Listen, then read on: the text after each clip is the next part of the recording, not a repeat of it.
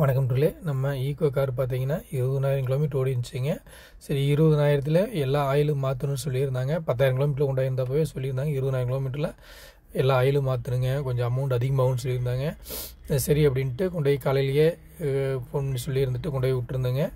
வட்டி அங்கே கம்பெனினால் ஃபுல்லாக ஹைட்ராலிக்கில் ரேம்பில் ஏற்றி எல்லாமே செக் பண்ணாங்க. Hundred box wheel front wheel back wheel எல்லாமே கழட்டி பிரேக் ட்ரம்மெல்லாம் தேய்ச்சி போட்டு எல்லாமே க்ளீன் ஃப்ரண்டில் பார்த்தீங்கன்னா பேலன்ஸ் ராடில் லைட்டாக மண் இருந்தாலும் என்னமோ லெஸாக சவுண்ட் வந்துக்கிட்டு இருந்துச்சுங்க. அதையும் சொல்லி அதனால் பேலன்ஸ் ராடையும் கழட்டி கிரீஸ் வச்சில் போட்டாங்க. அதுக்கு பிறகு பார்த்தீங்கன்னா எந்த சவுண்டு வராது அப்படின்னு சொன்னாங்க.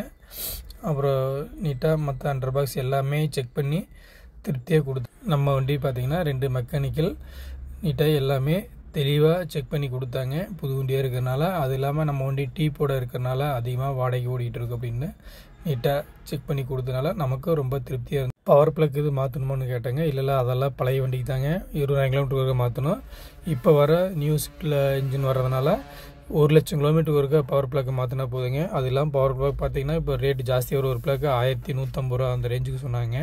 நாலு பிளக் பார்த்தோன்னா நாலாயிரத்தி அறநூறுவா வரும். அதெல்லாம் இப்போ தேவையில்லைங்க. அது பார்த்தீங்கன்னா ஒரு லட்சம் கிலோமீட்டர் வரைக்கும் எந்த பிரச்சனையும் கம்ப்ளைண்ட் வராது. அதனால் அப்போ மாற்றினா போதும் அப்படின்னாங்க. அப்பா ரேட்டை கேட்கும்போது பவர் பிளக்கோட ரேட்டை கேட்கும்போது நமக்கு பயமாக இருந்துச்சு. ஆனால் பழைய வண்டியிலாம் பார்த்தீங்கன்னா இருபதாயிரம் கிலோமீட்டருக்கு பவர் பிளாக் மாற்றுவாங்க நீட்டாக வாட்டர் வாஷெல்லாம் பண்ணி கொடுத்தாங்க. ரொம்ப திருப்தியாக இருந்துச்சுங்க. பில்லுக்கு ரொம்ப அதிகமாக வருமோ அப்படின்னு நான் கூட யோசனை பண்ணிக்கிட்டு இருந்தேங்க. ஆனால் பில்லு பார்த்தீங்கன்னா கரெக்டாக ஐயாயிரரூவா தான் இருந்துச்சுங்க. அதெல்லாம் பார்த்தீங்கன்னா நம்மளுக்கு ராயல்டி போன்ஸு இருந்துச்சு. அதில் லெஸ் பண்ணிவிட்டு மீதி அமௌண்ட்டு கட்டிட்டு வந்து கட்டிட்டு வந்தேங்க. அதனால் கம்பெனியில் சர்வீஸ் பண்ணுறது ரொம்ப ரொம்ப பெஸ்ட்டு தாங்க.